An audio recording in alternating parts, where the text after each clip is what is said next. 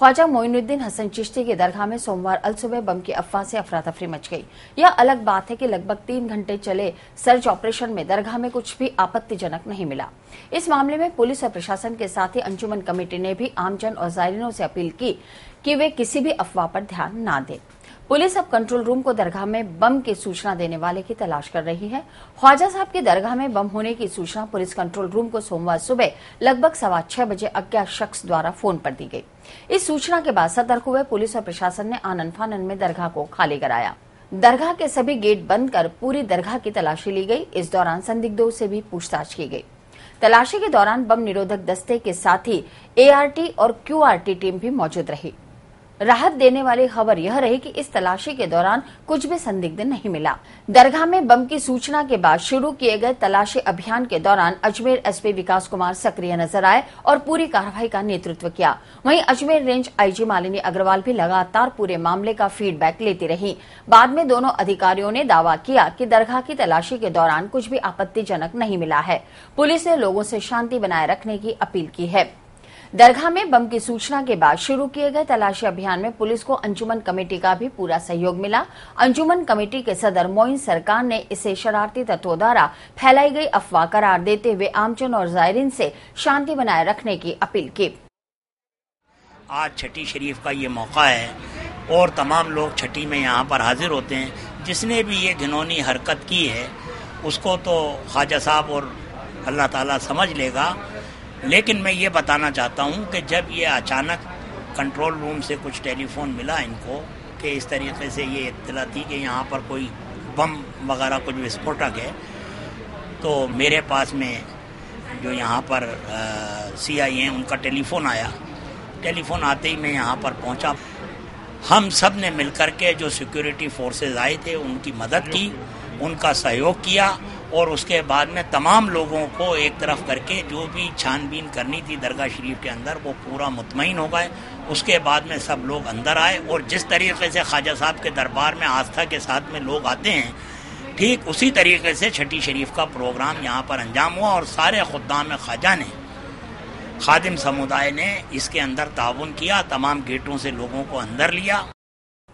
सूफीजन ख्वाजा मोइनुद्दीन हसन चिश्ती की दरगाह में बम की सूचना देने वाले शरारती का सुराग पुलिस के हाथ लग गया है। पुलिस फ़िलहाल आरोपी के नाम का खुलासा नहीं कर रही है, लेकिन दावा किया जा रहा है कि बहुत जल्द पूरे मामले का खुलासा होगा। आज की घटना से सबक लेते हुए पुलिस ने अब दरगाह की सुरक्षा की फिर समीक्षा करने का निर्णय लिया है। आज की इस घटना के बाद अब पुलिस और स्थानीय प्रशासन को भी लगने लगा है कि दरगाह की सुरक्षा में अभी भी कई छेद हैं। एसपी विकास कुमार खुद मानते हैं कि सर्च ऑपरेशन के दौरान सुरक्षा की कई कमियाँ सामने नज़र आई हैं। पुलिस और स्थानीय प्रशासन तमाम सुरक्षा एजेंसी के साथ ही दरगाह और अंजुमन कमेटी के साथ बैठकर दरगाह की सुरक्षा की समीक्षा करेगी। इस समीक्षा बैठक के बाद दरगाह के सुरक्षा इंतजामों को और कड़ा किया जाएगा।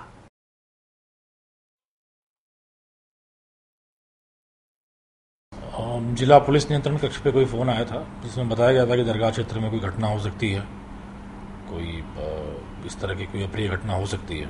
जिस पर तत्काल कार्रवाई करते हुए समन्वय के साथ जिला पुलिस, इंटेलिजेंस की यूनिट, सारी स्पेशल यूनिट्स, सिविल डिफेंस सबके साथ मिलकर पूरे एरिया को कार्डन करके सर्च कर लिया गया और कोई भी आपत्तिजनक या असामान्य चीज़ नहीं पाई गई।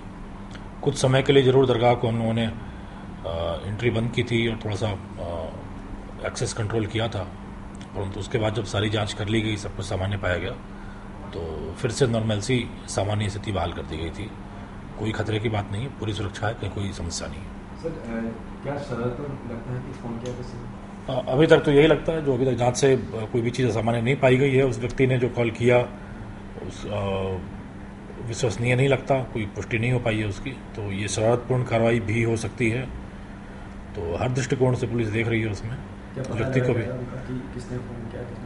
जो नंबर जिस नंबर से फ़ोन आया था उसको ट्रैक करने की कोशिश की जा रही कौन व्यक्ति है क्यों किया है कैसे किया है इन सब पे तहकीकत की जाएगी बहुत जल्दी वो चीज़ें सामने आ जाएँगी अभी गोपनीयता हम लोग इसलिए बरत रहे हैं ताकि जल्दी से जल्दी वहाँ तक पहुँच सकें।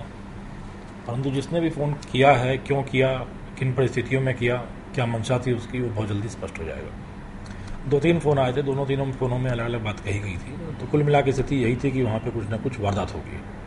अंदर भी एक ही नंबर से अलग अलग फ़ोन आए हाँ, एक ही नंबर से फ़ोन आए थे। एक नंबर से तीन कॉल आए। दो तीन बार कॉल आया वहाँ से। अलग अलग तरह से अलग अलग तरह की बातें की गई उस पर हालाँकि वो बहुत विश्वसनीय फिर भी नहीं था। फिर भी हमने इस, कोई रिस्क ना उठाते हुए एक बार पूरी चीज़ें फ्रिस्किंग कर ली गई सारी चेक कर लिया गया। इसी बहाने ये भी चेक हो गया कि एजेंसीज का रिस्पांस टाइम क्या है किस तरीके से चीज़ों को अगर कॉर्डन ऑफ़ करना हो तो कैसे किया जाना चाहिए। वो भी एक्सरसाइज साथ में हो गई। परंतु ये एक्सरसाइज नहीं थी, वस्तुतः फ़ोन आने पर ही कार्रवाई की। उसको हम लोग, उसकी फिर से समीक्षा करेंगे। समय समय पर समीक्षा की जाती है कि व्यवस्था कैसे होनी चाहिए, कैसे एंट्री होना चाहिए एक्सेस कंट्रोल होना चाहिए, क्या चीज़ें अंदर जानी चाहिए।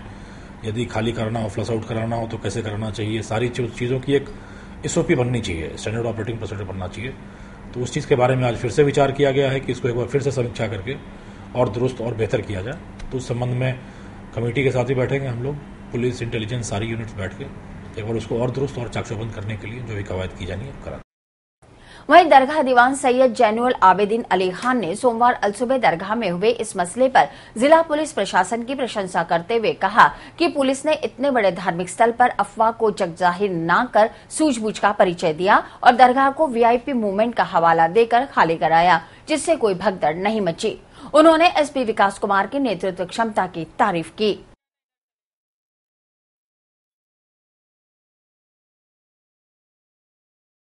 जिला पुलिस प्रशासन इमीडिएटली जिस तरह से हरकत में आया, वो बधाई के पात्र हैं कि उन्होंने उसको लाइटली नहीं लिया। पहली चीज़। दूसरी चीज़ कि एसपी विकास कुमार साहब स्वयं इसका नेतृत्व कर रहे थे। और चूँकि आज गरीब नवाज़ रहमतुल्लाह की माहाना छठी है, बाहर के राजस्थान राज्य से और बाहर के राज्यों से जो जायरीन यहाँ पर थे, उनकी तादाद काफ़ी हज़ारों में थी। तो किसी किस्म का पैनिक ना फैले। तो उन्होंने ये दिशा निर्देश दिए थे कि वीआईपी मूवमेंट हो रहा है, इसलिए दरगाह को खाली किया जाए, ताकि किसी किस्म की कोई भगदड़ वगैरह नहीं नहीं मचे, और उससे कोई जानी माली नुकसान न हो। देखिए, चूक का सवाल जहाँ तक है, वो दरगाह प्रशासन जिम्मेदार है कुछ हद तक जिला प्रशासन है। क्यों? कि जो मेटल डायरेक्टर हैं, वो किसके हैं? वो दरगाह प्रशासन के नहीं है।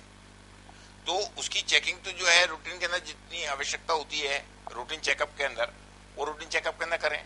दूसरी चीज़ के दरगाह के अंदर जो वीडियो कैमरे लगे हुए हैं, वो 24 घंटे चालू रहने चाहिए। सबसे पहले मॉनिटरिंग उसकी होनी चाहिए कि क्या दरगाह के अंदर लगे हुए वीडियो कैमरे जो हैं वो अपना प्रॉपर वर्क कर रहे हैं या नहीं कर रहे हैं। और नहीं कर रहे हैं तो क्यों नहीं कर रहे हैं? उसके ऊपर एक्शन जिला प्रशासन ले दुर्गा प्रशासन के खिलाफ। सब बिल्कुल समय आ चुका है। पहले भी आ चुका था अब तो और ज़्यादा आ गया है। क्योंकि जब इस किस्म के कंट्रोल रूम को मैसेज मिल रहे हैं तो आगे क्या क्या नहीं हो सकता?